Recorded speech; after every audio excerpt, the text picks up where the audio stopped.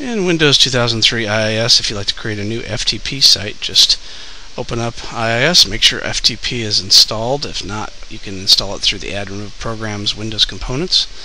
And right click on FTP, click New FTP Site, click Next. Put in a name, and you can lock it down to a specific IP address or a port. Click Next.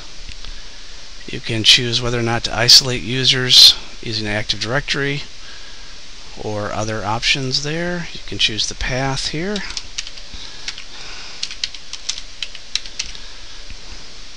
Next.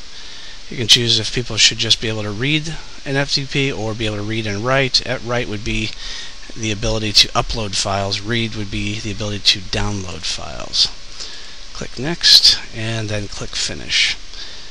Now, since we already have another FTP site running on port 21, this is going to automatically be stopped. So if we want this to run, we're going to have to choose another port besides 21.